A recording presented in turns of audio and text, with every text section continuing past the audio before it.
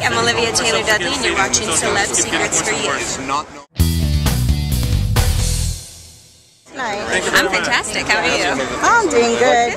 So how excited are you to be here at the premiere? Oh, I'm super excited. I'm really excited for the fans to see the movie. Kelly, the So producer. can you give us a story or tell us a little bit about your character in the film?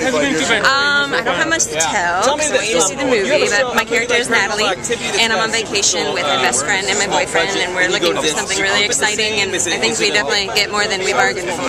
Oh wow. So it was it like really intense when acting out the scary scenes? I mean, it was very intense, but it was also very real. We were filming, you know, out in a really cold area, a really scary part of the world, and, and there wasn't a lot of pretending going on. We were all scared the entire time we were filming. So.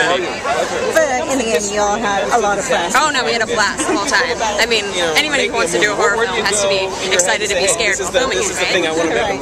Awesome. Do you have any other upcoming projects coming?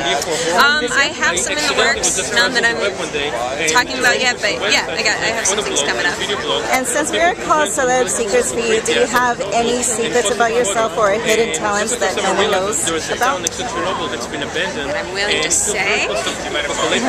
People just vanished. They didn't even have time to pick up Collect weapons, Like weapons? Oh, really? What kind? all different kinds. All different kinds? Yeah. That's it. All right, awesome. Thank you very much.